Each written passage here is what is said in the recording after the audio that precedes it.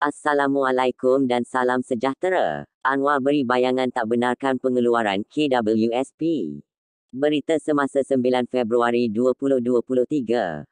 Kerajaan sedang berusaha mencari mekanisme terbaik membantu rakyat menangani kos sara hidup tanpa perlu membuat pengeluaran KWSP.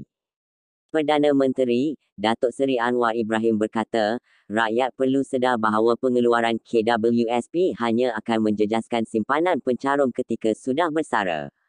Menteri Kewangan itu juga menjelaskan, sepatutnya kerajaan tidak ada halangan untuk rakyat mengeluarkan KWSP kerana ia milik pencarum.